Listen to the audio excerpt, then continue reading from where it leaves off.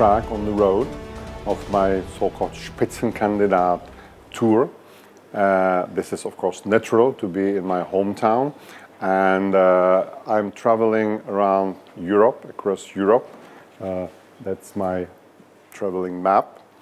I've been to Italy, to France, Northern Ireland, Bulgaria, and I'm planning to go to Poland, Latvia, Slovakia, and Spain yet. So it's quite demanding, but it's also very good to talk to people, talk to media, and to try to get our message across. And because my main slogan is Retune the EU, it's very obvious that the only place we could have organized this press conference was Hard Rock Cafe in Prague.